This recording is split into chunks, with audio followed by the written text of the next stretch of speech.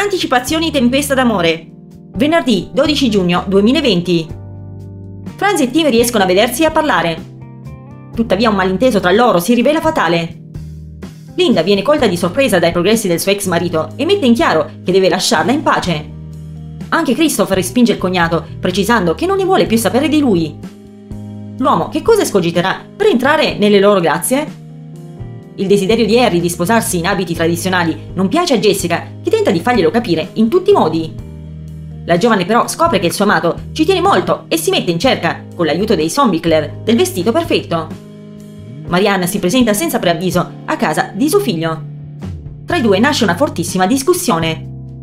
Il veterinario furibondo le dice a chiare lettere che deve andarsene, non figura nella lista degli invitati al suo matrimonio.